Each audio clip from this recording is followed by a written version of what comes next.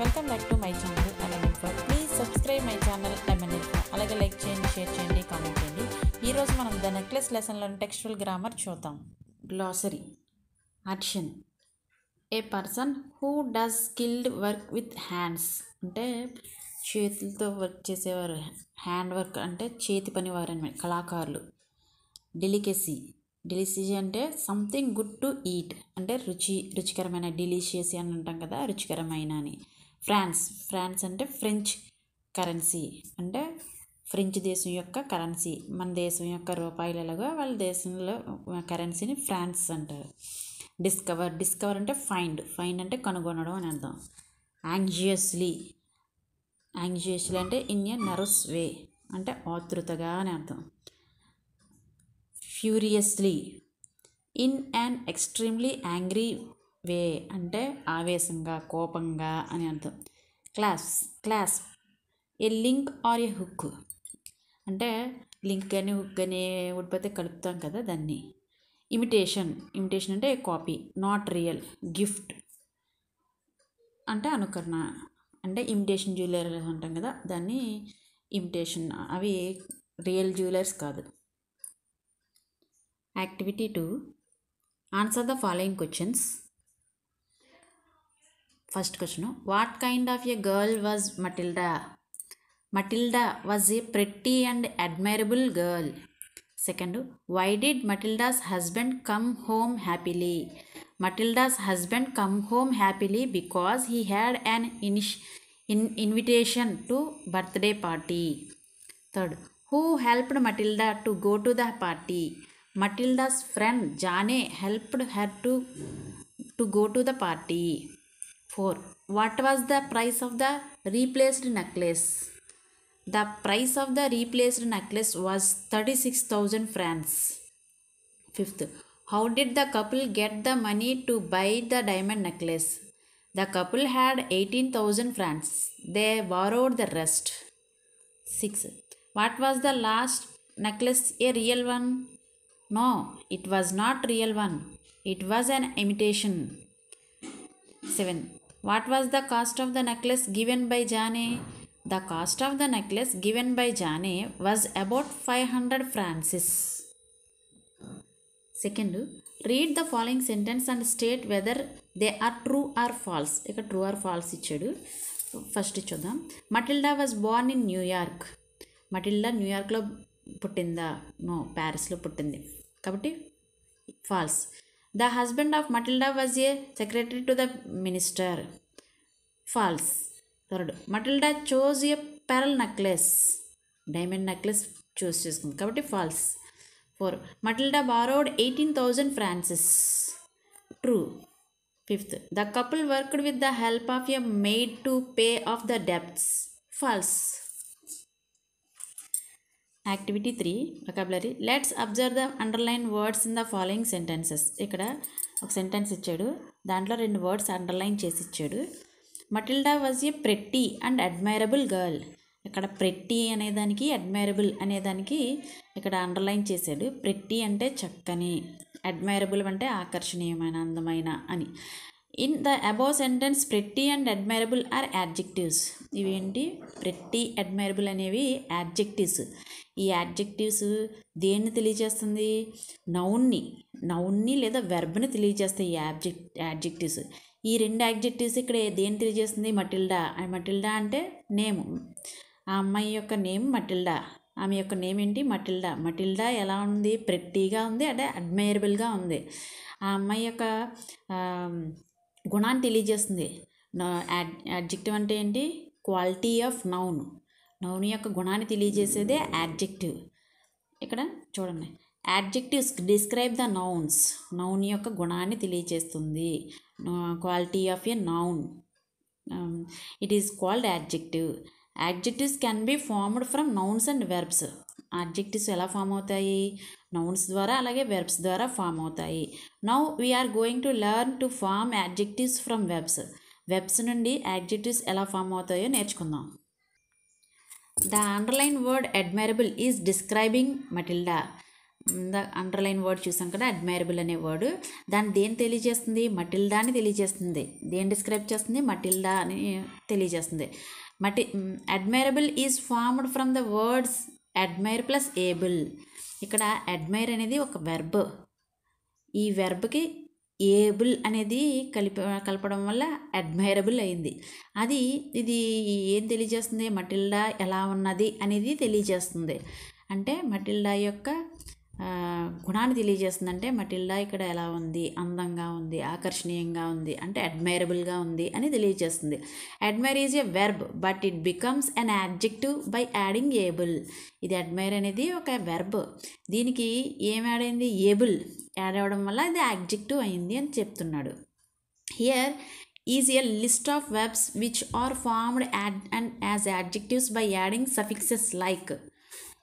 able ful ఐబిఇబిల్ ENT ENT ANT IVE ing etcetera ఒక వెర్బ్కి suffix అంటే వర్డ్ తర్వాత కొన్ని లెటర్స్ యాడ్ అయితే వాటిని ఏమంటారు యాడ్జెక్టివ్స్ అంటారు ఇక్కడ ఫుల్ వర్డ్స్ ఏం చూద్దాం యూజ్ యూజ్ అనేది వెర్బ్ దానికి ఫుల్ యాడ్ అయ్యింది హెల్ప్ హెల్ప్ అనేది వెర్బ్ దానికి ఫుల్ యాడ్ అయింది హార్మ్ఫుల్ ఇక్కడ able remarkable expandable payable ible flexible sensible responsible ENT different excellent urgent next ANT pleasant ignorant resistant IVE selective creative talkative ing amusing re relaxing surprising ఇవన్నీ వెర్బ్కి ఇవి సఫిక్స్లు add అయ్యాయి కాబట్టి అవి యాడ్జిట్గా ఫామ్ అయినాయి match the following verbs given in column A with the suitable suffixes given in column B and write the words in column C ఇక్కడ మ్యాచింగ్ ఇచ్చాడు కాలం ఏలో వెర్బ్స్ ఇచ్చాడు కాలం బిలో సఫిక్సెస్ అంటే కొన్ని వర్డ్స్ ఆ వెర్బ్కి యాడ్ అయితే ఒక మీనింగ్ఫుల్ వర్డ్ వస్తుంది అది ఇక్కడ రాయమన్నారు యూజ్ యూజ్కి యూజ్ఫుల్ యూజ్ఫుల్ అని రాసాం remark remark remarkable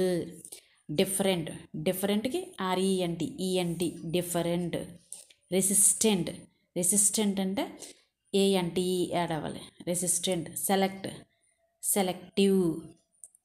IVE amuse amusing amusing అంటే ఐఎన్జి యాడ్ అవ్వాలి ఎక్స్పాండ్ ఎక్స్పాండబుల్ అంటే ఏబిఎల్ఈ e, సెన్సిబుల్ అంటే I B L E sensible pleasant pleasant అంటే ఈఎన్టి e ఇది matching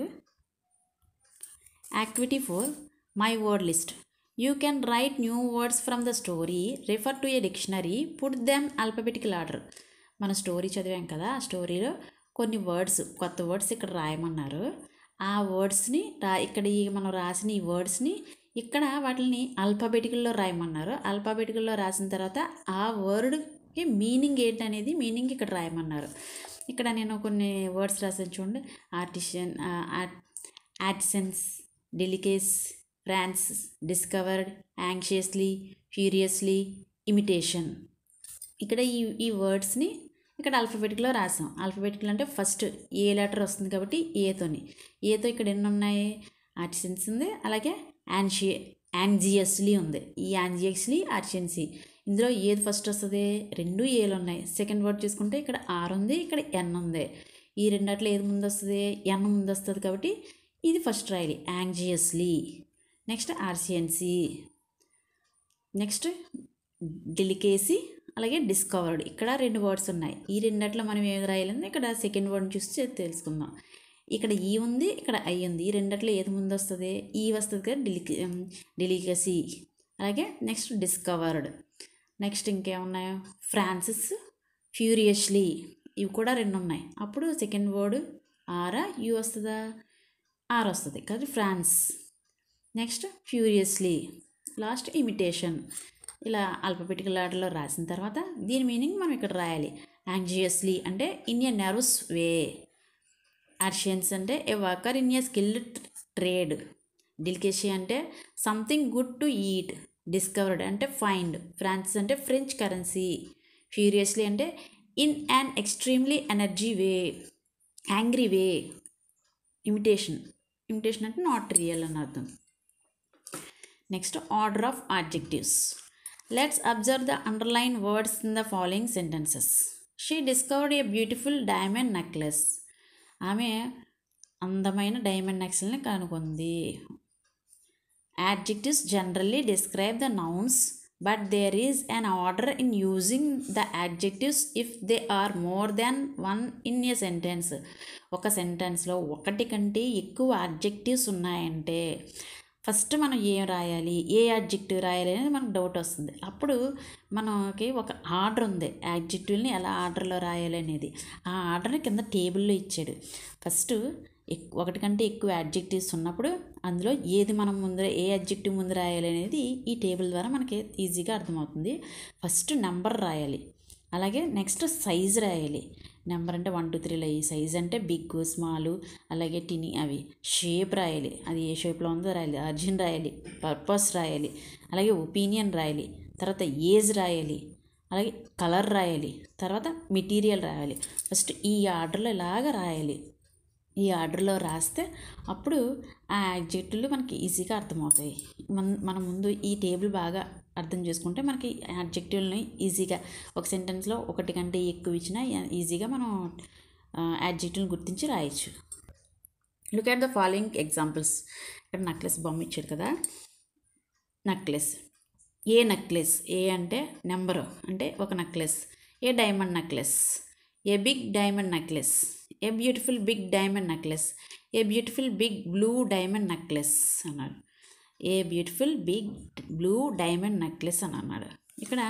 సెకండ్ బ్యాగ్ ఒక బ్యాగ్ గురించి ఇచ్చాడు a bag a leather bag a white leather bag a big white leather bag ఇక్కడ ఫ్ల flowers ఇచ్చాడు flowers three flowers three yellow flowers three tiny yellow flowers three lovely tiny yellow flowers boy a boy a little boy a smart smart little boy ఇక్కడ చూడండి ఇందాక మనం table చూసాం కదా దాంట్లో ఏ అంటే నెంబర్ ఫస్ట్ తర్వాత లిటిల్ లిటిల్ అంటే సైజ్ అన్నాం కదా నెంబర్ తర్వాత సైజు తర్వాత ఇంకేం చూడండి ఏ స్మార్ట్ లిటిల్ బాయ్ అన్నాడు కాబట్టి ఇక్కడ స్మార్ట్ అంటే ఒపీనియన్ తెలియజేశాడు కాబట్టి ఇలా రాయాలి ఇక్కడ దానికి సంబంధించిన టేబుల్ ఇచ్చాడు ఆ టేబుల్లో మనం activity five complete the table by using the examples given above one has been done for you number opinion size colour material ఇక్కడ number first a beautiful big blue diamond a beautiful big blue diamond అన్నాడు next మనం second రాసాం కదా second ఏమన్నా a big white leather bag first next a opinion లేదు కాబట్టి రాయలేదు big రాసాం కలర్ వైట్ రసం మెటీరియల్ అయితే leather next next three lovely tiny yellow flowers three అన్నారు కాబట్టి త్రీ నెంబర్ రసం లవ్లీ అలాగే టినీ ఎల్లో కలర్ రసం ఇక్కడ మెటీరియల్ ఇవ్వలేదు ఫ్లవర్స్ అన్నాడు కాబట్టి ఫ్లవర్స్ మెటీరియల్ అవ్వదు కాబట్టి మెటీరియల్ ఇవ్వలేదు కాబట్టి మనం మెటీరియల్ బ్లాంక్ ఉంచాం next a smart smart little boy a smart little boy a smart little ఇక్కడ కలర్ ఇవ్వలేదు అలాగే మెటీరియల్ ఇవ్వలేదు కాబట్టి బ్లాంక్గా ఉంచుతాం activity six underline WH words in the following sentences ఇక్కడ డబ్ల్యూహెచ్ క్వశ్చన్స్ ఇచ్చారు వాటిని ఒకసారి చదవమన్నారు అండర్లైన్ అండర్లైన్ చేసామని అండర్లైన్ చేయమన్నాడు when did you go to the market when నువ్వు మార్కెట్కి ఎప్పుడు వెళ్తావు why do you trouble me నువ్వెందుకు ట్రబుల్గా ఉన్నావు where will you meet me meet him నువ్వు ఎప్పుడు వేర్ ఎక్కడ నువ్వు ఎక్కడ మీట్ అవుతావు how did you spend your holidays నీ హాలిడేస్ నువ్వు ఎలా గడిపావు whom do they want to elect ఎవరు గెలుస్తారనుకుంటున్నావు ఇవన్నీ డబ్ల్యూహెచ్ క్వశ్చన్స్ అంటే డబ్ల్యూహెచ్తో స్టార్ట్ అవుతాయి కాబట్టి వీటిని డబ్ల్యూహెచ్ క్వశ్చన్స్ అంటారు ఇక్కడ హౌ మరి డబ్ల్యూతో స్టార్ట్ అవ్వలేదు కదా అంటే హౌ కూడా డబ్ల్యూహెచ్ క్వశ్చన్ కిందకే వస్తుంది these are called questions question words ఇవన్నీ ఏంటి క్వశ్చన్ వర్డ్స్ అనమాట అంటే క్వశ్చన్ వేయడం వల్ల దాని ఆన్సర్ రాబట్టడానికి మనం ఈ డబ్ల్యూహెచ్ క్వశ్చన్స్ మనం వాడతాం let's learn how to use these WH questions మనం వీటిని ఎలా ఉపయోగిస్తాం అనేది చూద్దాం హూ హూ ఎప్పుడు వాడతాం ఈ ఊని used for questioning about a person ఎవరైనా పర్సన్ గురించి తెలుసుకోవడానికి మనం హూ వాడతాం వాట్ వాట్ అనేది ఎప్పుడు వాడతాం used for questioning for particular information ఖచ్చితమైన సమాచారాన్ని తెలుసుకోవడానికి మనం ఈ వాట్ని ఉపయోగిస్తాం where where is used for questioning about the place where అంటే ప్లేస్ అది ఎక్కడ ఏ ప్లేస్ అనేది తెలుసుకోవడానికి ఈ వేర్ అనేది వాడతాం when used for questioning about the time time అంటే టైం టైంను తెలుసుకోవడానికి వెన్ ఉపయోగిస్తాం which used for questioning about the object object అంటే ఏది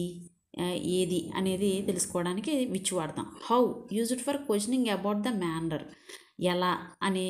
అడగడానికి మేనర్ తెలుసుకోవడానికి ఈ హౌ ఉపయోగిస్తాం why used for questioning a reason ఎందుకు ఏంటి ఎందుకు అని మనం అడుగుతాం కదా దానికి కారణం కోసం వై వాడతాం Fill the blanks with with words the answer of the question are given with in brackets ఇక్కడ బాక్స్లో కొన్ని డబ్ల్యూహెచ్ వర్డ్స్ ఇచ్చారు కింద కొన్ని క్వశ్చన్స్ ఇచ్చారు ఎక్కడ ఏ ఏ వర్డ్ వస్తుందో మనం చూస్ చేసి రాయాలి first dash is your brother హూవా వాటా